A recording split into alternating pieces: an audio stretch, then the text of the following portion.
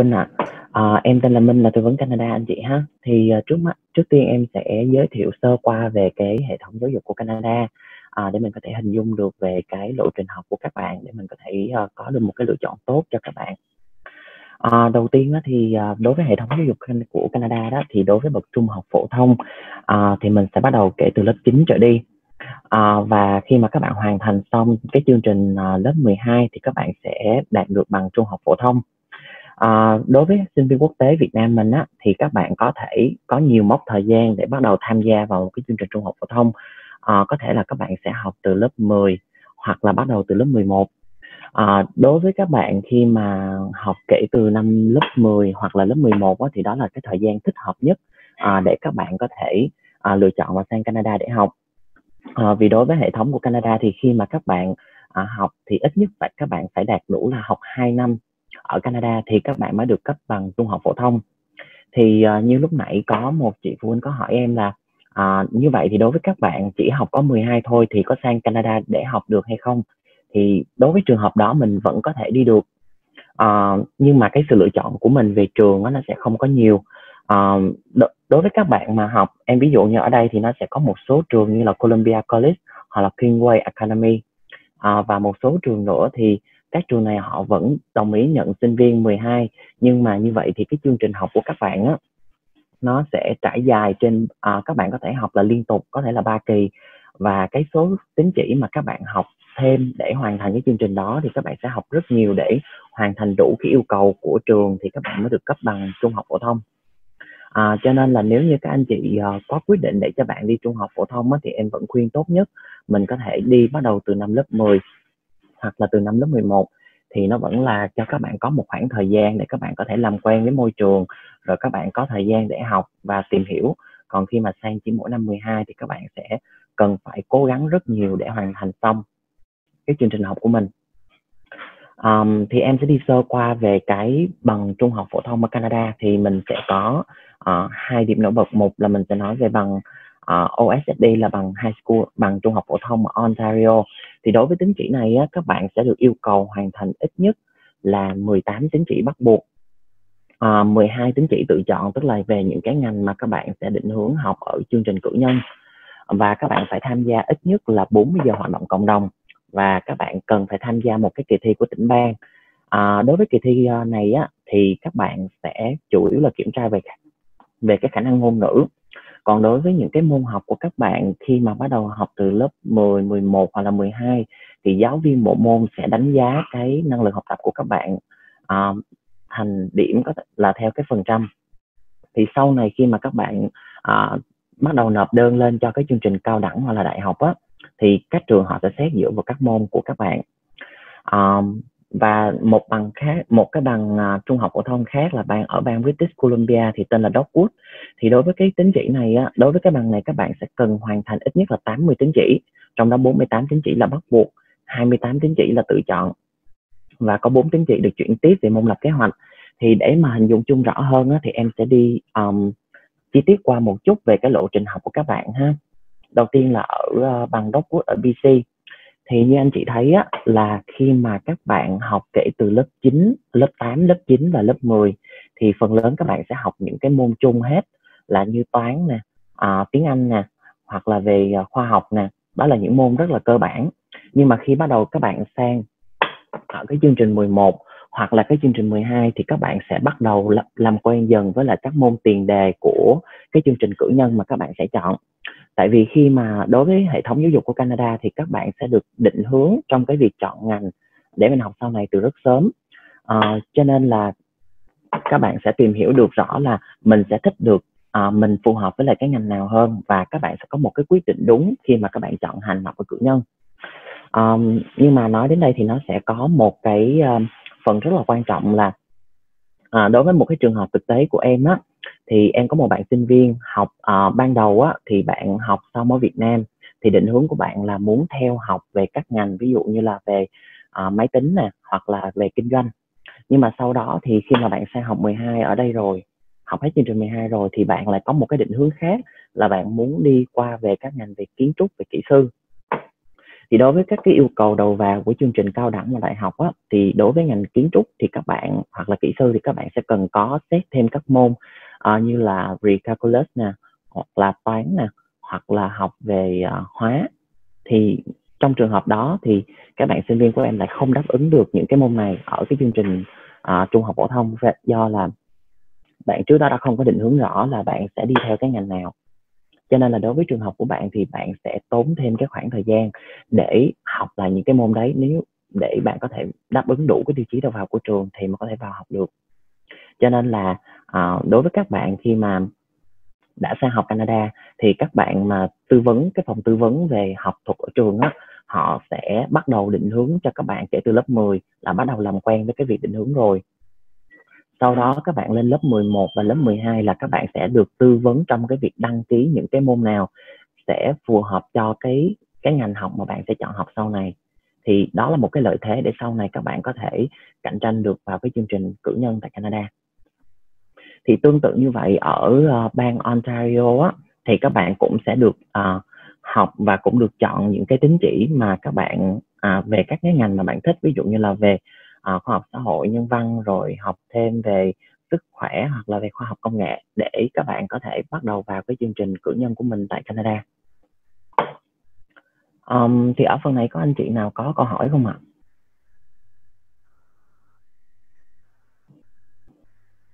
À, dạ vâng như vậy thì em sẽ sang phần uh, kế tiếp. Đó là các cái môn học tự chọn mà các bạn sẽ bắt đầu làm quen ở cái chương trình cử nhân như lúc nãy em đã đề cập. Thì nếu như mà các bạn đi học thiên về máy tính học về uh, các cái ngành về khoa học máy tính thì em ví dụ như ở đây nó sẽ có cái ngành là information computer technology. Thì đây là những cái môn tiền đề mà các bạn sẽ cần học trước để các bạn sau này khi mà lên đến chương trình mà cử nhân á thì khi mà các trường họ sẽ đưa ra cái yêu cầu thì họ sẽ xét những cái môn môn chính của bạn để bắt đầu có thể là quyết định là bạn có được nhập học hay không. Còn đối với sinh viên Việt Nam á thì các trường á, thì các bạn ở Việt Nam mình thì các bạn sẽ học chung là hơn 10 môn. Nhưng mà chủ yếu trường họ chỉ xét một những cái môn nào mà yêu cầu thôi. Thì cái tính cạnh tranh của các bạn mà học tại trung học phổ thông tại Canada thì sẽ vượt trội hơn. Tại vì các bạn đã được làm quen với những cái môn tiền đề rồi. Thì cái điều kiện đầu vào của các bạn á, trường họ sẽ chú ý đến các bạn nhiều hơn và cái cái cái việc mà các bạn chọn định hướng về ngành nó nó cũng đã có từ trước rồi. Đó là một cái lợi thế cho các bạn để có thể nhận được một cái thư nhập học từ một trường đại học tại Canada. À, ở đây á, thì em sẽ mô tả sơ qua đây là trường Boswell à, trung học phổ thông. Thì đây là một số cái chương trình học của trường khi mà à, các bạn học à, qua tại trường ha thì cái này đây là một cái chương trình để mình có thể tham khảo để mình có thể biết được rằng là đối với các bạn mà học tại uh, Canada đó thì tiền đề những cái môn mà các bạn sẽ học nó sẽ như thế nào để mình có thể hình dung được là các bạn đã được tiếp cận rất sớm đối với những cái ngành mà bạn đã chọn học. Thì sau này khi mà bạn nếu mà bạn có thay đổi quyết định á thì các bạn mà ở phòng tư vấn về học thuật của trường á họ sẽ định hướng cho bạn là bạn nên theo học những cái nào thì phù hợp. Và khi mà bạn tham gia vào những cái môn đấy rồi á thì các bạn sẽ có một thời gian ngắn để trải nghiệm thì lúc đó các bạn sẽ biết là mình có thực sự phù hợp với ngành đó hay không. Nếu như thực sự là chưa phù hợp thì ngay thời điểm đó các bạn vẫn có thể gặp các bạn tư vấn uh, về học thuật của trường để mình có thể được tư vấn lại một lần nữa uh, và mình có thể đổi sang một cái ngành khác thì lúc đó nó không có bị lỡ về cái thời gian học của các bạn tại cái chương trình cao đẳng hoặc đại học sau này. Để nói rõ hơn một chút về cái việc vì sao mình nên chọn một cái chương trình du học ở Canada. À, thì cái điều đầu tiên khi mà các bạn bắt đầu vào cái chương trình trung học phổ thông ở Canada hoặc à, ở một số quốc gia ví dụ như là Mỹ chẳng hạn thì cái việc là các bạn sẽ được cải thiện tốt hơn về cái khả năng tiếng Anh. Um, về cái điều kiện đầu vào của các trường á, thì hầu như ở bậc trung học phổ thông Canada thì các trường không có yêu cầu quá cao về cái việc mà phải có tiếng Anh trước. Nhưng mà ít ra thì cái khả năng tiếng Anh của bạn nó cũng phải tốt một chút xíu. Có thể là um, nếu như anh chị phụ huynh mà có thể để tốt nhất thì mình có thể cho bạn thi thử IELTS ở Việt Nam một lần um, hoặc là các bạn khi mà nhận được một cái thư trước khi mà nhận được thư nhập học của trường á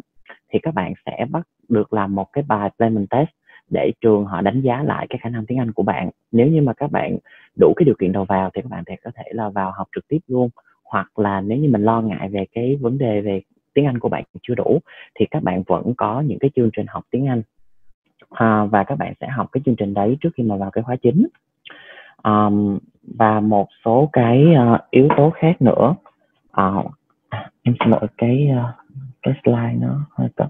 um, và như ban đầu em cũng có tư vấn với mình á thì khi mà các bạn tham gia vào một cái chương trình trung học phổ thông ở Canada thì các bạn đã được định hướng cho cái việc học của mình uh, về những cái ngành về khi mà để mình học lên cái chương trình cử nhân mà các bạn mong muốn đã được định hướng bắt đầu từ lớp 10 và bắt đầu làm quen những cái môn tiền đề rồi thì đó là một cái lợi thế của các bạn khi mà học trực tiếp tại Canada à, tại vì phần lớn em thấy các bạn ở chương trình high school truyền thống à, thì các bạn sẽ hầu như học đều các môn và các bạn sẽ gặp phải một cái vấn đề là à, khi các bạn đến gặp trực tiếp em thì các bạn bảo là em chưa biết phải chọn một cái ngành nào hết mà thậm chí là đó đã là thời điểm mà các bạn đã học lớp 11, 12 rồi mà các bạn vẫn chưa biết là mình mạnh về một cái mảng nào hết thì đó nó sẽ rất là khó cho các bạn khi mà các bạn bước chân vào chương trình học xong chương trình 12 rồi bắt đầu lên cử nhân thì ở thời điểm đấy các bạn còn chưa biết là mình thích về cái ngành nào thì cái việc mà lựa chọn sai ngành đó lúc đó nó sẽ à, là một cái rủi ro rất lớn. Cho nên là lúc đó mình sẽ phải mất thời gian để các bạn có thể à, tham gia học xong rồi các bạn còn phải à, nếu mà các bạn cảm thấy không phù hợp thì lúc đó mình phải học ừ, xin trường để chuyển lại học lại một cái môn khác thì nó rất mất thời gian và tốn cái về cái phần chi phí. Cho nên cái việc định hướng này em nghĩ rất là tốt đối với các chương trình trung học phổ thông tại Canada. Um, tiếp theo là về cái phần ưu thế để nộp hồ sơ. Thì phần lớn khi mà các chương trình đầu vào của các trường uh, đại học ở Canada đó thì họ sẽ uh, để rất rõ là nếu như các bạn à, khi mà nộp đơn vào thì họ sẽ để rõ là à, ví dụ như bạn muốn học về à, các ngành về kỹ sư thì các bạn sẽ được xét nếu như các bạn học tại Canada thì các bạn sẽ được xét các môn như là toán nè lý nè hóa nè và các môn tiền đề của kỹ sư. Um, thì lúc đó cái đó là một cái lợi thế của các bạn vì các bạn đã đủ tiêu chuẩn đầu vào của trường rồi tại vì các bạn đã được tư vấn từ trước đó. Còn đối với các bạn sinh viên tại Việt Nam á khi mà nộp vô thì trường họ sẽ bắt đầu xét lại những cái môn mà các bạn học ở đây. Thì cái việc không định hướng thì dẫn tới cái việc là không có định hướng rõ ràng, thì dẫn tới cái việc là các bạn sẽ không biết mình sẽ học ngành nào. Thì có một số bạn là thích như vậy, nhưng mà thực tế là về cái khả năng toán hay là về cái khả năng về những cái môn lý hóa các bạn không mạnh, thì khi nộp vào như vậy thì nó sẽ là một cái ừ, ừ, thì lúc đó nó rất là rủi ro là trường họ sẽ không có cấp cái thư nhập học cho mình được. Cho nên là các bạn ở Canada thì nó vẫn là một cái lợi thế hơn à, và các bạn khi mà học tại cái chương trình trung học phổ thông á, thì các bạn sẽ được tập dần với lại cái à, về cái việc là hoạt động độc lập. Các bạn khi mà như các bạn ở Việt Nam mình thì phần lớn em thấy các bạn là bố mẹ đưa đi học rồi đưa đón rồi về phải nhắc nhở học bài. Còn đối với các bạn mà học tại Canada thì hầu như các bạn sẽ bắt đầu phải làm quen dần với cái việc là phải tự chăm sóc được bản thân mình phải biết được là đi về phải làm cái gì giặt giũ rồi phơi đồ rồi giờ nào là ăn rồi giờ nào là bắt đầu học bài. Để các bạn có được một cái uh, tính tự lập tốt thì đó là một cái một trong những cái yếu tố rất cần thiết khi mà các bạn bước chân vào một cái môi trường uh, đại học. Tại vì khi đó cái trường đại học có một cái giảng đường lớn thì nó khoảng 100 đến 200 sinh viên thì các bạn hầu như phải đều tự có cái kỹ năng về các bạn phải độc lập hết toàn bộ về kỹ năng sống cũng như là về kỹ năng tìm hiểu thông tin rồi các bạn phải tự làm hết tất cả mọi thứ. Chứ không phải là kiểu như là để chăm sóc quá nhiều rồi các bạn mới làm được thì khi mà các bạn như vậy thì các bạn sẽ được phát triển một cách toàn diện hơn. Um, về các cơ sở vật chất của trường đó, thì đối với các cái việc mà các trường trung học phổ thông đó, thì khi mà các bạn làm quen dần với những cái môn mà ở cử nhân ở chương trình cử nhân đó, thì các bạn sẽ ví dụ như các bạn đi học về uh, các môn về khoa học đi thì nó sẽ có những cái phòng lab nhỏ để cho các bạn có thể bắt đầu làm quen dần với cái môi trường này. Cái môi trường mặt học của bạn á, để các bạn biết xem là nó có phù hợp hay không uh, cho nên là tất cả những cái điều này á, nó sẽ nhìn chung lại nó sẽ làm cho bạn phát triển toàn diện về tất cả các mặt về kỹ năng tư duy độc lập về cách tư duy sáng tạo và cái việc mà trong chọn ngành của mình thì một cái đó là một cái bước đệm rất là tốt để các bạn bắt đầu vào cái chương trình cử nhân của mình. Dạ vâng ạ, à. trước tiên thì em sẽ nói về một số cái uh, lựa chọn dành cho các bạn sinh viên quốc tế ha. Uh, thì cái hệ thống khi mà các bạn chọn uh, học ở Canada đó thì các bạn sẽ có ba cái nhóm chính à, một là mình sẽ chọn theo cái hệ thống công lập.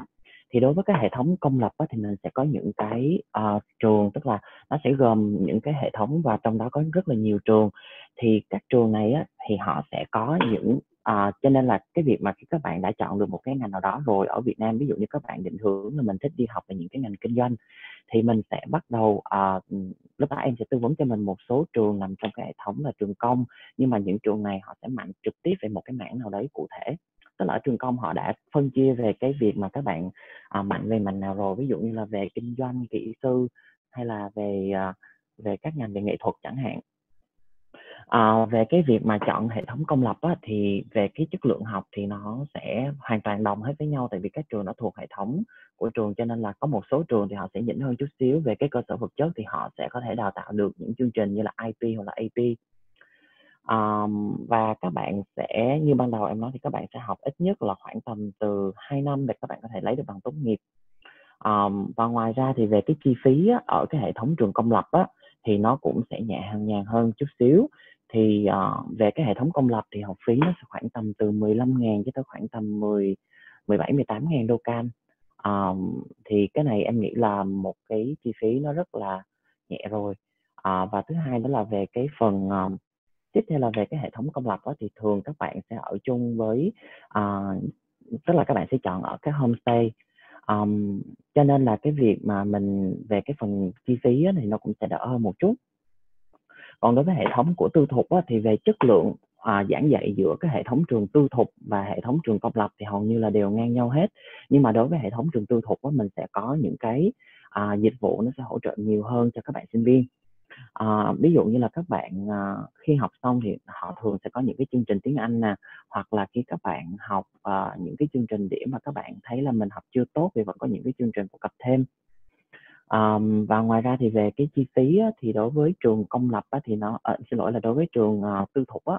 thì về cái khoản chi phí á, nó sẽ hơn một chút so với hệ thống công lập. Nhưng mà đối với cái việc mà mình chọn về cái hệ thống tư thục thì nó sẽ có Ờ, lợi thế là đối với cái hệ thống này thì các bạn sẽ về cái chương trình học á, nó sẽ uh, chậm hơn một chút và nó không quá cạnh tranh. Tại vì phần lớn các cái trường mà công lập thì hầu như là về cái chi phí thấp cho nên là uh, phần lớn các bạn sinh viên quốc tế thì cũng uh, sẽ các bạn học rất giỏi và các bạn sẽ vào trường cái hệ thống công lập khá nhiều. Cho nên về cái độ cạnh tranh trong cái việc học của các bạn á, thì nó rất là cao. Cho nên là nếu như mà mình thấy là bé nhà mình nó uh, các bạn ấy chưa về cái việc học mà mình lo sợ là các bạn không bắt kịp chương trình thì cái việc mà chọn một cái hệ thống tư thục thì em nghĩ là đó là một cái điều kiện có thể giúp cho các bạn có thể là hòa nhập với cái môi trường ở bên đấy.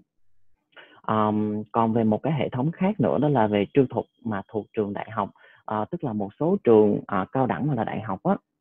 họ sẽ có luôn cả cái chương trình đào tạo về uh, trung học phổ thông ví dụ như là trường Columbia College nè hoặc là về trường uh, Vancouver Island University thì trực tiếp trong cái chương trình trong cái hệ thống của họ họ cũng sẽ có luôn cả cái chương trình high school. Thì nếu như các bạn chọn những hệ thống này thì sau này các bạn có thể liên kết trực tiếp lên cái chương trình cử nhân hoặc là chương trình cao đẳng đại trường luôn. Thì về cái phần chi phí á, thì nó cũng sẽ hơn một chút. À, cho nên là trong cái việc mà cân nhắc về um, chi phí em nghĩ là à, nếu như mà phụ các anh chị phụ huynh nếu mà thấy là các bạn học có cái năng lực tốt một chút xíu và các bạn um, ở đây thì nó sẽ phân rõ hơn. Ví dụ như đối với các bạn mà có học lực tốt và mình không quan tâm về cái phần mà chi phí cho các bạn học thì mình có thể chọn cái hệ thống tư thục hoặc là chọn cái hệ thống trường um, trung học phổ thông mà thuộc hệ thống của cao đẳng hoặc là đại học. Còn nếu như các bạn học tốt nhưng mà về cái phần kinh phí của mình nó có phần giới hạn thì mình có thể là chọn về cái hệ thống trường công lập thì cái về cái khoản này nó sẽ đáp ứng được cho các anh chị trong cái cái khoản kinh phí để hỗ trợ cho bé. Như vậy thì nó sẽ tốt hơn. À, hoặc là nếu như mà các bạn mà ừ, học à, học với cái học lực ở mức à, mức vừa thôi nhưng mà về cái khoản kinh phí mình cũng không quan tâm thì mình vẫn có thể chọn được cái hệ thống tư thục nhưng mà mình sẽ chọn ở trong ký túc xá của trường. À, và ngoài ra thì mình có thể chọn vào cái hệ thống là trường trung học phổ thông tư thục thuộc về cái à, trường đại học và mình có thể là ở với lại dân bản xứ thì về cái phần chi phí nó sẽ thấp và nó sẽ phù hợp với các bạn mà có cái à, sức học nó nằm ở mức vừa thôi.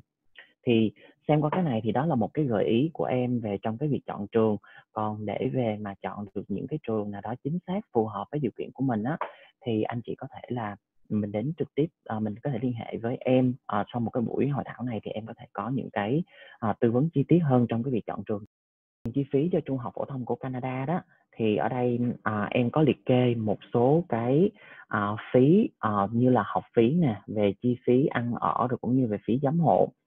um, thì các anh chị có thể xem, tham khảo xem qua trước để mình có thể có những cái uh, hình dung chung nhất về cái khoản tài chính mà bắt đầu mình sẽ lo cho bé trong cái thời gian sắp tới để mình có thể là chuẩn bị đầy đủ ờ, thì nó sẽ tốt hơn.